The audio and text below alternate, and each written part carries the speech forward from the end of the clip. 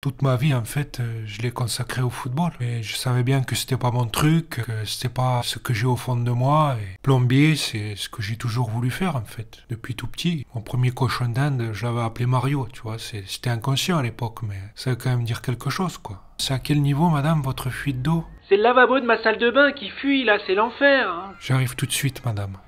Je charge la camionnette, puis c'est parti, quoi.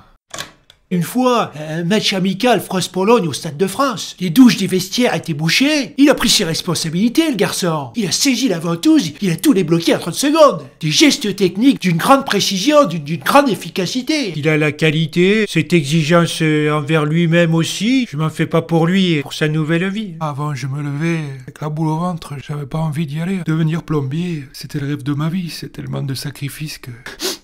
Alors c'est quoi l'objectif maintenant? Mais ce qui me rendrait encore plus fier, ce serait de, remporter un jour la ventouse d'or.